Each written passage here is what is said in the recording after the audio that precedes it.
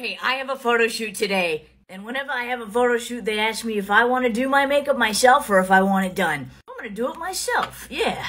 I love to do my own makeup for photo shoots. Makeup has to be literally flawless and it has to photograph really well, so I'm gonna be using a lot of products that are just exceptional for this. Giorgio Armani Luminous Silk for foundation. I do have a tan, so I gotta match it. This is a perfect shade to go with my tan. It's 3.5.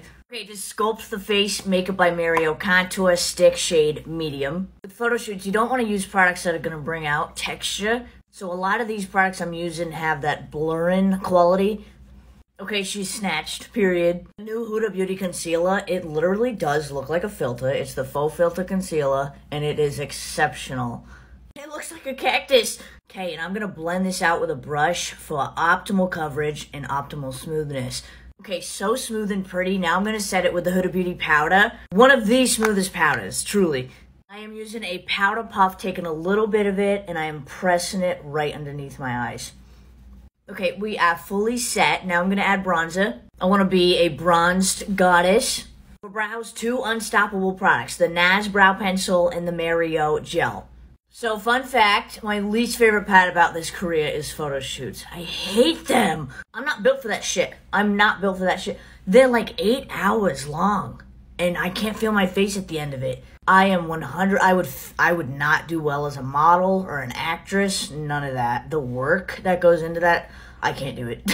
but also, I am a freaking nightmare at photo shoots because you can take a hundred photos and I will hate all of them because I'm really insecure and I I just, I hate taking photos personally. I know I gotta work on the insecurities thing. I'm trying. Okay, Daniel Sandler Liquid Blush.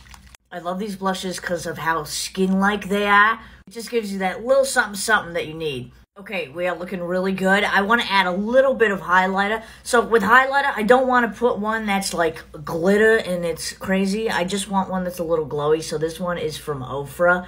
And I'm not using much of it either, just a small amount. So when I do take the shots, if I turn to the side, I'll have a really pretty glow on the camera. YSL lip liner. I got skills. and lipstick, Charlotte Tilbury, KKW. And I'm actually putting a little bit of powder to mattify. I don't want as much of that shine. Okay, so this is the complexion. I'm to do the eyes off camera, and I will be right back. Okay, guys, the makeup is done. My hair will get done at the shoot. Wardrobe gets done at the shoot, but I, I'm just in theme. Lastly, I have to use a really good setting spray, so one size. I'm excited for you to see what these photos are for.